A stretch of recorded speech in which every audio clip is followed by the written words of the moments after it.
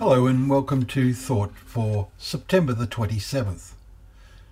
Our readings today are taken from 1 Chronicles chapter 10, Ezekiel chapter 23, and Luke chapter 20. And our thought is those who deny. We have three chapters today that teach valuable lessons.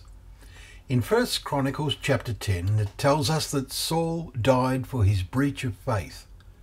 He broke faith with the Lord, it says in verse 13, in not keeping his commandments, a lesson for all those who have committed themselves to serve the Lord.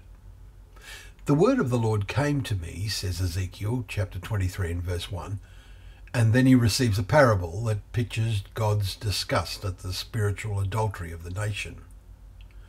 The Lord says to them, Because you have forgotten me and cast me behind your back, you yourself must bear the consequences. Verse 35.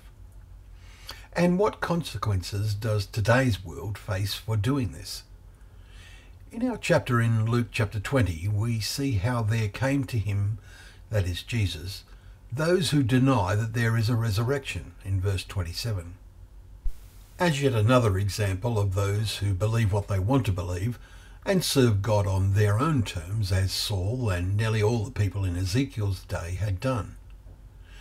We note how Jesus responded to these deniers with a declaration of what is true. He said to them, The sons of this age marry and are given in marriage, but those who are considered worthy to attain to that age and to the resurrection from the dead neither marry nor are given in marriage, for they cannot die any more, because they are equal to the angels and are sons of God, being sons of the resurrection. Verse 36. Jesus then says in verse 37 that even the writings of Moses showed this in the passage about the burning bush, where he calls the Lord the God of Abraham and the God of Isaac and the God of Jacob. God was not proclaiming himself to be the God of the dead, who have gone into oblivion forever. God transcends time. He is from everlasting to everlasting. The prayer or the Psalm of Moses states this.